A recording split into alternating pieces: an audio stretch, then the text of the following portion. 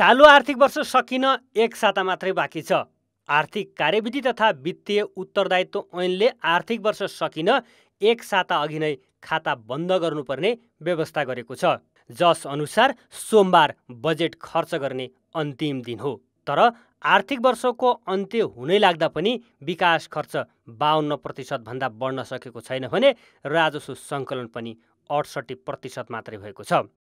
Budget ल्याएर खर्च गर्न नसक्ने अनि त्यसमा बिचमा अझ संशोधन गर्ने मनपरी ढङ्गले सकमान्तर गर्ने अनि मनपरी ढङ्गले तपाईँको कानुन अहिले बनाएको कानुन विपरीत चाहिँ तपाईँले अन्तिममा होइन? असार मसान्तसम्म चाहिँ तपाईँले खर्च गर्ने यस्तो किसिमको जुन अराजक होइन वित्तीय अनुशासनहीन प्रवृत्ति छ त्यसले बजेटप्रतिको आम रूपमा विश्वसनीयता पनि गुमाएको छ।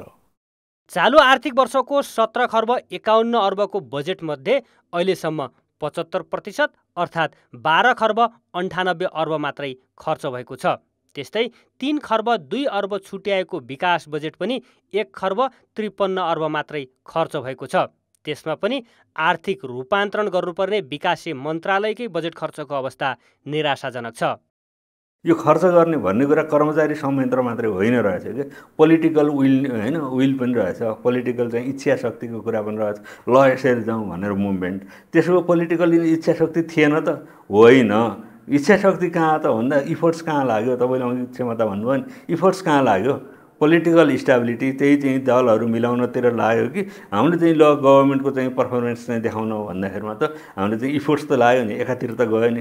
त्यो हिसाबले अलिकति चाहिँ समस्या भएको बजेट प्रस्तुत गर्ने क्रममा तत्कालीन अर्थमन्त्री प्रकाश शरण महतले पुँजीगत खर्च बढाउन बजेट प्रणालीमै सुधार गर्ने बताउनु भएको थियो। जस अनुसार विनियोजन ऐनमै व्यवस्था गरेर असार मसान्तभित्र बजेट कार्यान्वयन कार्ययोजना तर्जुमा गर्ने साउनभित्र कार्यविधि र निर्देशिका बनाउने र असोजसम्म आयोजनाको काम सकेर कार्यान्वयनमा जाने तालिका बनाएको थियो। तर यो तालिका कार्यान्वयन तहमा जानै सकेन। परिणामस्वरूप विकास बजेट खर्चको अवस्था नाजुक देखियो। कान्तिपुर समाचारका लागि क्यामेरामा पशुपति बुढाथोकीका साथ भरत रावल काठमाडौँ।